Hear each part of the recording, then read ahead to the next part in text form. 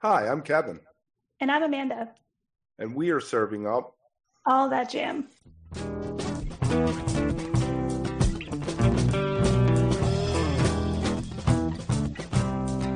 All That Jam, Quick Hit. Getting to know Bruno Hovart. Why don't you tell us, you know, a little bit about yourself and what you do in the words you would like to describe that? Because I know that you do a lot of different things. Well, I am um, today. I'm like I'm 48. I'm I live in Lyon, France, and uh, I would define myself as a music maker, which what we called what we can we can call today producer, not in an executive producer way, but in a technical producing. I mean, I make music, you know, like uh, uh, so. My role is to come from a musical idea, mus- mus- an Mhm. idea of a song, and to take it to a record till the mastering. So um, that's my job, and um, and I do it the uh, on different fields, which are mostly black music. I mean, from and I I would say black and Atlantic music. So I would include into that South America, you know. Mhm, Uh, sure. um, I mean, post African slavery music, I would say, and I would include uh, French music and European music in it, and I would uh, include Northern American uh, music in it too, because like it's so influenced by the African diaspora everywhere. So that's what I, I would define the fields, musical fields I'm working on. And uh, um, right now, I'm, I've been doing this job for first record was 95 so it's nearly 30 years old uh the first, the first one. And uh now i have i can step back a little bit and try to define a sound i would i would have developed for the last 30 years. And uh i i'm i mean i feel like i now tend to um create a sound or sounds that um, don't really exist on the field. I mean, what I mean is that the raw material I try to work with is to get back to the organic stuff. Is to I've been working in electronic music for a long time because there was a need for electronic music on on a on a what I would say I don't want to say the market I would say the musical field you know? And uh, and uh, more and more, more and more, I'm now uh, getting back to organic sound simply because I love it, and secondly because I think it's dance floor music, and music in general has been like overflowed by electronic sounds, which is cool, but I don't want a monopoly of electronic sounds as raw material. It's like like like um, it's like if every single food you could find was salty or or uh, sweet, but we, uh, we need to balance, you know. So that's why I tend to do the stuff that needs to be done on the field, you know. I like that. I like the way that you describe that because then it becomes a calling in addition to what you enjoy doing.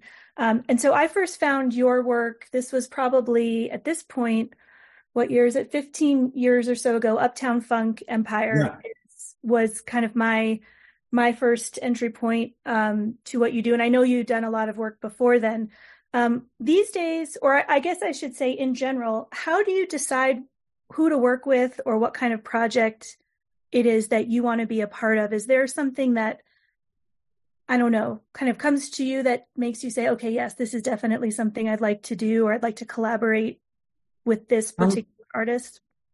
I I collaborate most of um I I I, I for most of the tunes I do every single instrument on myself, you know. So um, the only need uh, I have for collaboration um, uh, are the singers, you know. Okay. And uh, and it's really like everyday life and uh, meeting some musicians, singers on the tour, uh, or friends or friends of friends hmm and uh, the closer it is to me, the best it is. You know, to to because music production is something quite you're quite isolated. You know, in a it's not a cave. You know, but it's it's a studio. It's, so it's like very very um solitary, and uh, that's why that's why I need. This is soul music, you know. I make soul music, so I need I need to have like connections with the people I'm working on. I'm working with um, just to go the same direction and to, to express the same feeling. You know, it's, it's like, like soul music doesn't really have meanings. It's just we express feelings and we expect the people to feel sometimes the same way or to have the music expressing something to them, you know? So, so, um, I don't give a shit to have them think the same things, the same sounds, to have the same, uh, with with my collaborations. It's just like it's just a question of of feeling. So we can Mhm. uh, have a soulful tune that is more likely to to express stuff and emotions and whatever uh, to to the people. So the tune can become something special, personal for them. I mean, I try I try to make music and collaborate with people. And try to give material, musical material, the same as I want to receive when I listen to music you know Yeah. Um, and okay, so thinking about that, I had read somewhere um, that you are mostly self-taught, you know, multi-instrumentalist. Um, I identify with that quite a bit. Um, everything that I do, um, in addition to my, you know, my full-time job, are things that I've learned on my own over time, and and that's that's a different entry point than someone who had, you know, a very traditional classical training. I'd be curious to know your thoughts on what that may have afforded you being self-taught um, versus coming up through, you know, a particular program or or something like that. Well, I, would- I would say it's, it's question it's it's maybe a question of generation. I'll tell you why. Um, um, when I started, you know, as a teenager in the late uh, 80s, um, the only way to make music was to uh, to learn guitar or piano. You know, that was the way. You know, so that's what I did. And then in the in the early 90s, come to the samplers, which were very expensive. So we were we had to make teams to gather money and buy one sampler for different producers. That's what we did. And, uh, and after that, you know, like getting into production, because with a guitar or a piano, you can't produce. With a sampler, you can start producing some tunes, you know, because it's a, it's because it's a recording machine in itself. Um, but I think, I think that this way of sample, the, the, the fact that sampling music in a, in a, in the early nineties, Mhm. um, is something really important because you learn to listen to record, to listen to the music, and not to listen to one special instrument, but to to, to see it as a as a as a whole. You know, like like a bunch of instruments working together creates like a, uh, a super sound or not. I'm so thinking about labels like CTI or Blue Note, which was which were the main stuff I was searching for, and uh, so I mean, the fact after that, I um, bought more instruments like guitars and uh, bass guitar and uh, and keyboards, by trying to trying to to to find and to compose the perfect loop. So, like Moodymann did, which is a super massive influence for me, Mhm. uh, Prince Paul and Moodymann, definitely. You know, um, this this fact that we try trying to find the perfect loop because I love disco music. You can, you know, because you know Uptown Funk and you and so I'm not want to make the best tunes like super super tight music, like super uh virtuoso uh, bass playing. No, no, no. I just want to have the right bass lines that can stand Mhm. being looped for five minutes. You know, Yeah. so so I mean, it means it doesn't it. I mean, the sound of my instruments have to be to be really what I want, what I expect, the, the crustiness, you know, the rawness of it, and uh, and um, the bass line has to be like simple and effective, like groovy, but doesn't have to be like super tight or like like super top level technician bass player. Don't give a shit about that, you know. Um,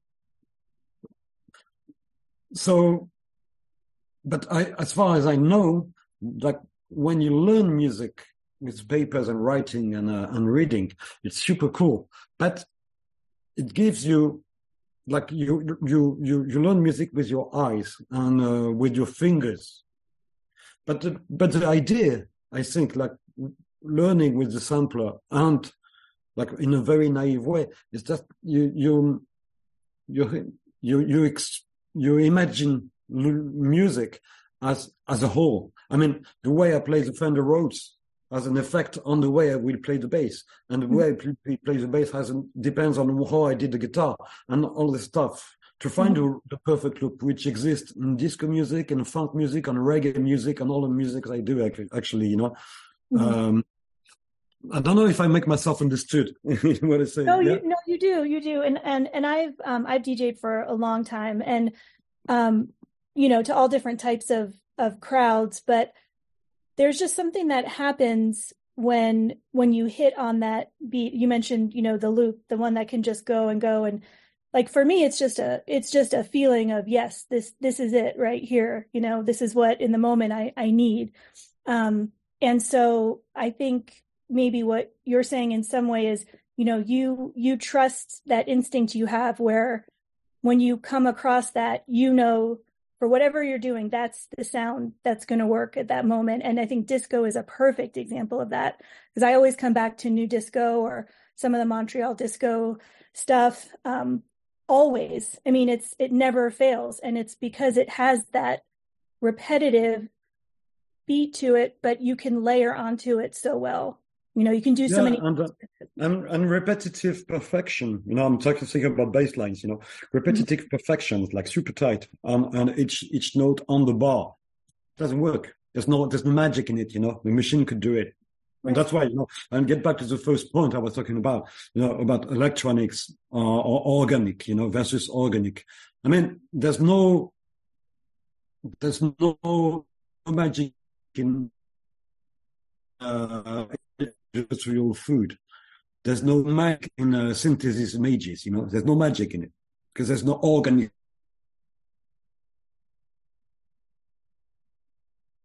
Like, I think it's, I think the machines make perfect beats. It's very square.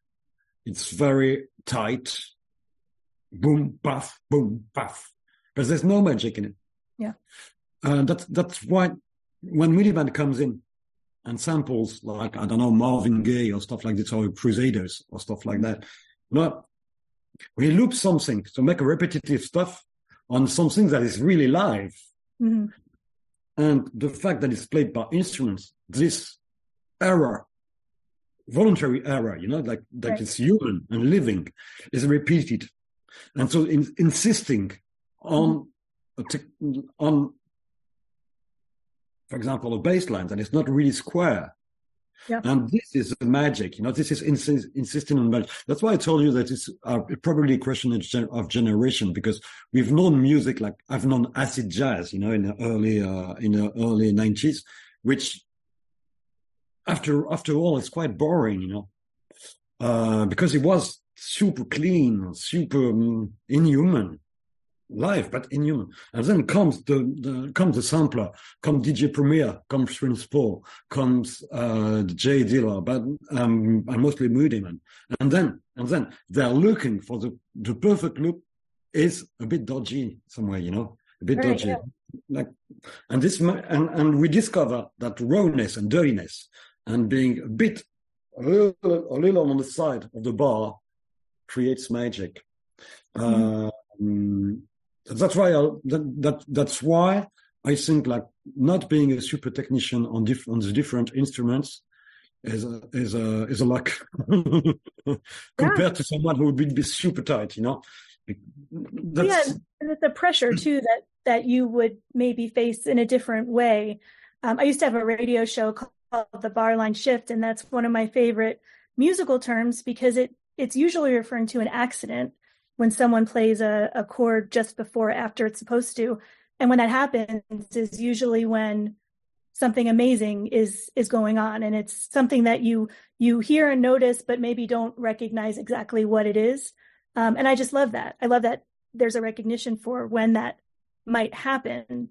It's not something that i think gets talked about a lot um, but I, I can understand what you're saying and i've read some things about funk music and dissonance in funk and some classical music too and that it's the repetition that makes the dissonance Yeah, comfortable i guess or something Exactly. like that exactly, exactly. Yeah, yeah, totally. You know, when you listen to the first album by De La Soul, uh, which was the early sampling work by Prince Paul, it's totally crazy because the stuff is totally out of tune. I mean, and uh, and today it would be tuned because the technology allows us, us to tune it. But back in the days, no, they could not, and they said, "Fuck it." We're going to make this sample, this Parliament sample, work with this Lyston sample, and it's out of tune. But there's some magic. But it's looped for five minutes. So you get used to it. And so some magic coming on. And so your brain, by repetition, is able to overcome the, the being in tune or not, which is something Right. that's been tried in music history before, in classical music. But uh, Mhm. Monk, uh, Thelonious Monk, made a revolution by making uh, the, the chords he did. Well, he wasn't allowed to make this chord. His teacher would have uh, injured him. You know what I mean? Uh, but he did. He did. It's trying to find the, the, the trying to find the, the magical era, the, the, the, the um, which is a kind of something from of a rebel, a kind of reb, rebellion in uh, in music. I don't I don't know if you got me. Yeah, I, but but I think yeah, that's what's so interesting. I just finished um, a little while ago reading one of the biographies of Thelonious Monk, and it got into so much about um, his family history and just you know everything surrounding his music. And it, it was a good reminder that music is is history and it's it's life. And you know he brought so much with him into what he did, and and kind of um, the era that he was was coming up in so different from now uh, in a lot of ways.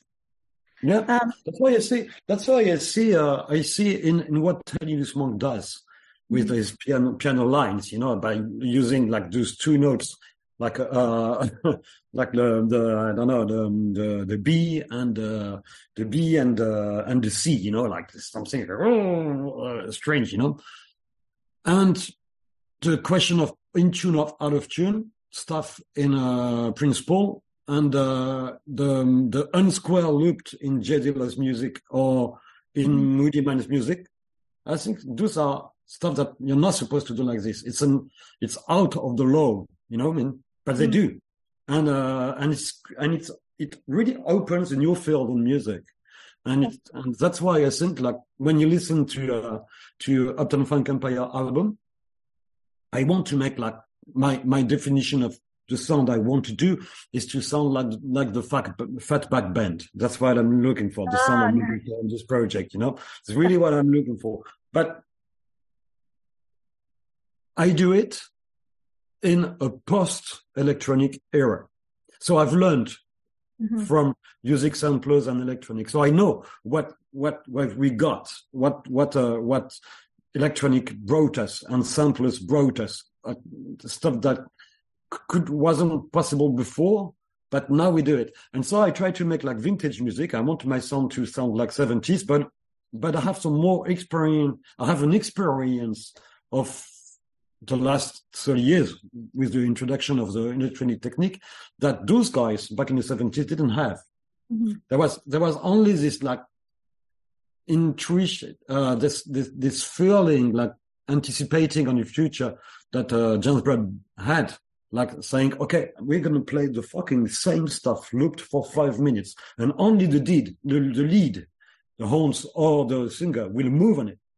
But the rest, the rhythmic section, you're just like, you're a fucking collective machine, you know? But now we have the fucking collective machine. So we know what, what the loop means. But, um, that, and Fatback Band with a more dirty, underground, crusty and raw sound, uh, did that like the Wicky Wacky, you know, this tune is like, like, that's Oh, yeah. love. Oh yeah. and I, and that's why that's why um I mean I mean I tried I make music from this that I want to sound like the seventies, uh, but in an era right now in decades where I've learned from electronic without doing it, without making electronic sounds, you know. Sure. yeah. No, that no, I totally understand that. Um, as you were talking, there's a one of my my all time favorite uh, bands and songs. Uh, it's Holy Ghost by the Bar-Kays is eight minutes. The the studio version is eight minutes, and it is seriously that same kind of consistent boombastic beat undergirding the whole thing and it could go for 48 minutes and you'd still be really happy to be Yeah. listening to it you know and and they were doing some cool things there even before prince was doing adding a little bit of uh, some synthesized sound but just like just a touch right on top of of what they were already doing and so i think i think there's always that interesting room to kind of add add different touches of things to maybe build up a sound or give it something slightly different um, but it still comes across as what, you're saying that more natural you know authentic feel Yeah, because because,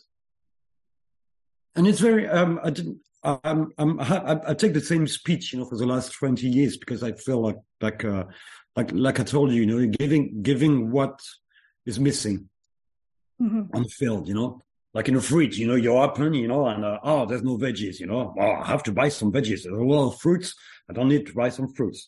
Well, a lack of veggies, I'm gonna buy some veggies. Well, I feel like there's a lack of uh, organic dance music right now, so that's what I'm gonna do because I feel like I'm gonna be more useful. Um, but I, I really have the feeling day by day and year after year that machines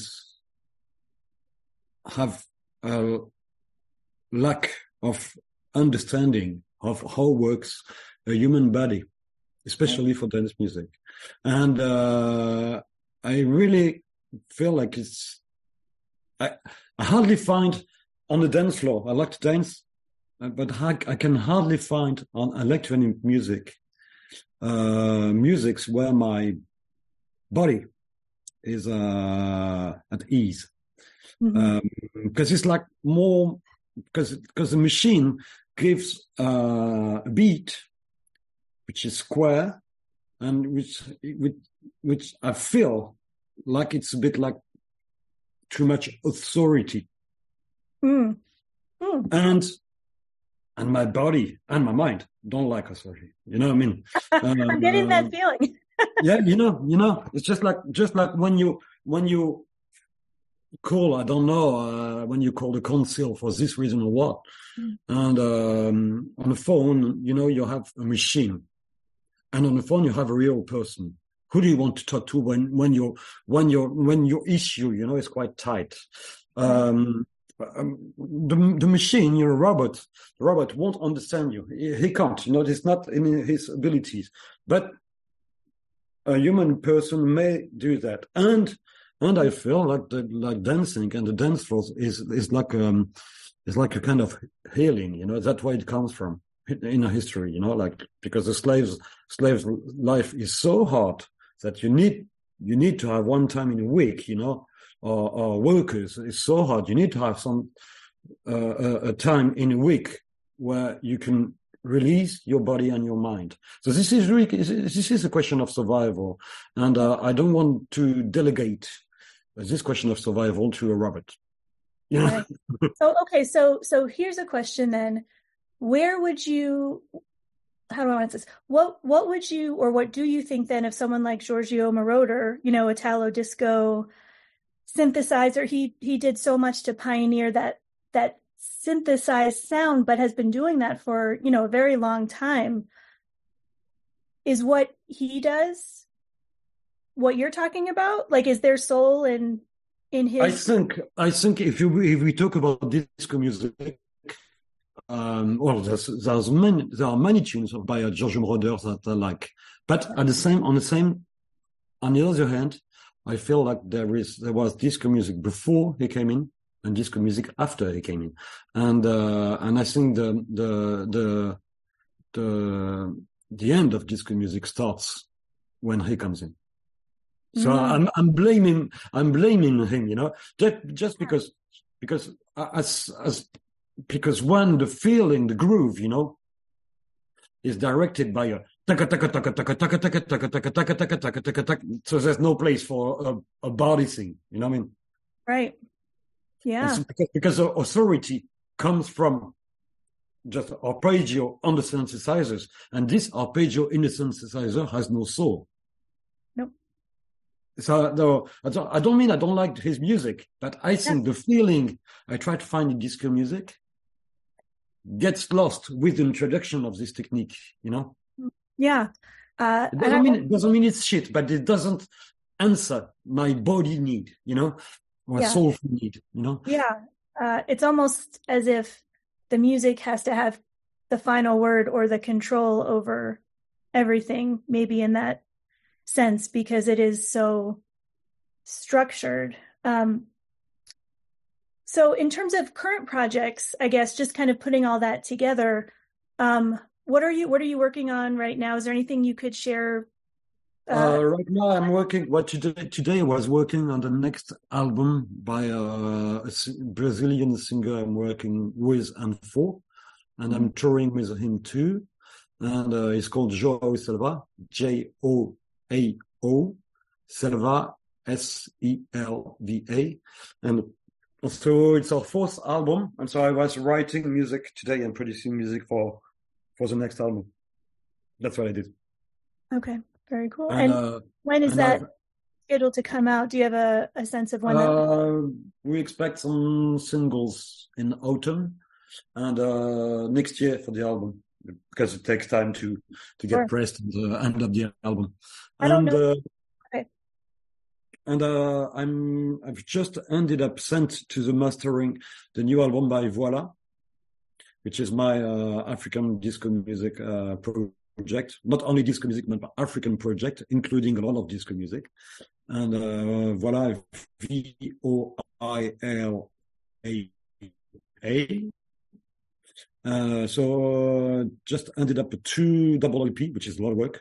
So I'm glad it's done, and I'm I'm touring with this band too uh, in Europe.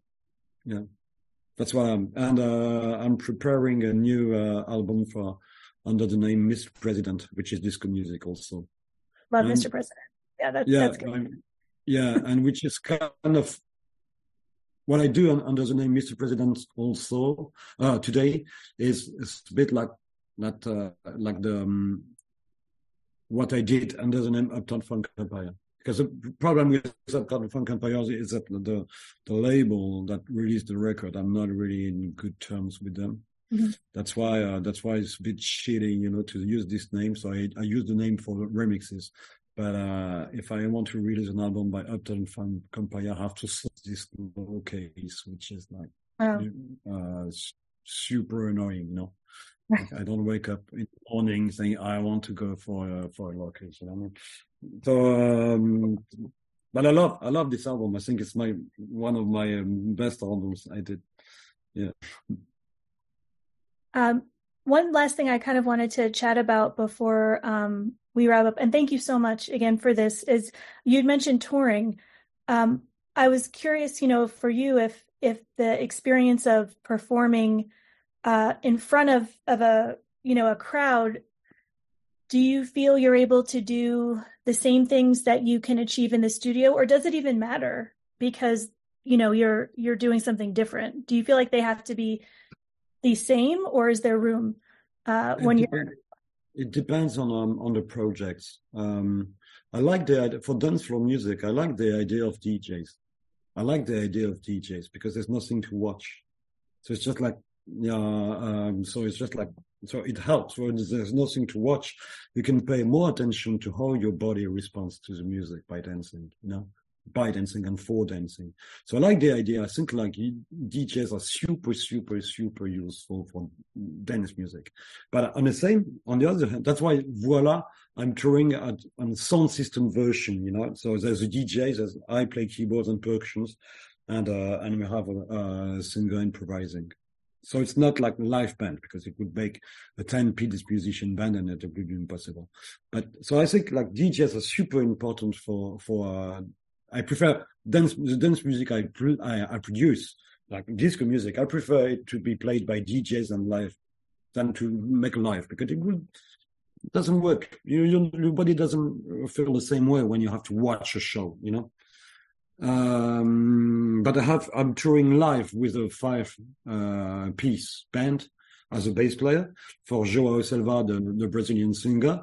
But this is soul music. This is Brazilian soul music. So, so it's a moment. It's not only dance. It's a, a human moment of exchanges of, uh, soul music. So emotions, uh, dance, uh, feelings, sadness, all the stuff. Saudade all the stuff that are in this music. I don't know if I uh, answer your question, but um, yeah. But, yeah. but I think you know when I've seen Chic on stage like two years ago, to be honest, it was shit. It was shit. It was like all the music was played like super powerful, like like super like like uh pretentious. Mm-hmm. No, it wasn't soulful. It had like super lights, heavy show, blah blah blah blah blah blah. So no place for the body and the soul, you know? Um, so if, and at the same time, when I uh, hear uh, Rapper's Delight, uh, or when I hear uh, and I Want Your Love by Chic, played by a DJ on the dance floor, this is absolutely fantastic. So their music is better on by a DJ than live, for example. yeah. and it's the best, and it's the best uh, disco band ever. So, There's so much good stuff. Um, well, I, I want to thank you so much. Um, and you know what? Um, maybe as as the year moves on and some of those projects you mentioned um, are released, I would totally love to chat with you again about those, and we can, um, you know, maybe get into those recordings. Um, so I mm-hmm. really love what you do, and and I feel that connection, and so um, I really appreciate being able to, you know, talk to you about that and and just hear directly what what you get out of that process. So um, thank you so much. But it's super, it's super nice for me like, to see like people, like 15 years after the release of a record, like people are still into it. You know, yeah. like uh, this, this, is super nice to hear and to, you know, it, because, because like music that lasts, you know, it's, it's, it's a, it's an idea which is really nice for a musician. The idea that after 15 years, my record is still it's, it's a place of interest for people. You know, it's something really nice to think about. You know? awesome. Well, well, thank you again, and I will follow up with you um, mm-hmm. uh, soon, and then also when we have um, you know some of those shorter clips, which we'll post, and they'll be available anywhere people would get a podcast to listen to. Um, so we'll make sure that you have all that. Okay. Thank you. Fantastic. Thank you, Thank you so much. Okay. Thanks, Amanda. Bye bye. If you are enjoying All That Jam, please like and subscribe to our social media channels at All That Jam Pod on Twitter, Instagram, and Facebook, or visit our website, allthatjampod.com. Make sure to sign up for our email list and tune in every week for new episodes. Also, look for full interviews on our YouTube channel. And remember, stay beautiful, but don't stay underground too long.